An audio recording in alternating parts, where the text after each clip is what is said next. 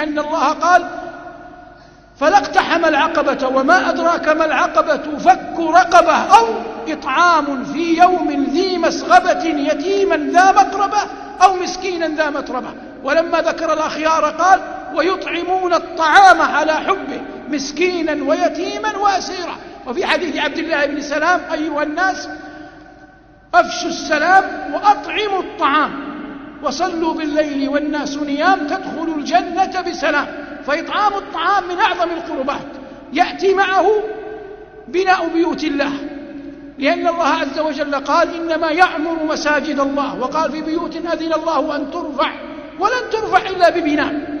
وورد عند ابن ماجه بسند فيه ضعف لكن المتن يتقوى أن تميما الداري رضي الله عنه وأرضاه أول, أول من أسرج المسجد النبوي.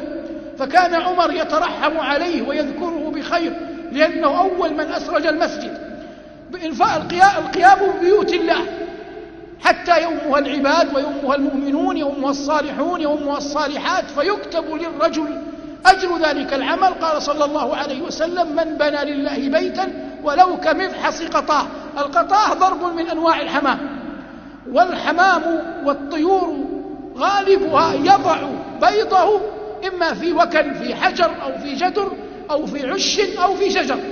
وأما القطاع فإنها لا تضع بيضها إلا على الأرض فتحفر له.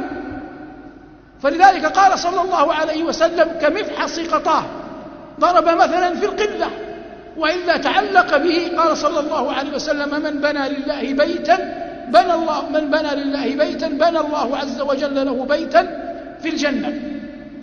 ثم يأتي بعد ذلك سداد من ابتلي بالقرض. إن كان قد اقترض ليسد حاجة أو أصابته جائحة فإن القيام به وإعانته مما يقرب إلى الله عز وجل زلفى لأنه يدخل في قول الله وآتي ذا القربى حقه والمسكين إذا كانت مسكنته ناجمة عن شيء لا يطيقه ورده. وهذا باب واسع.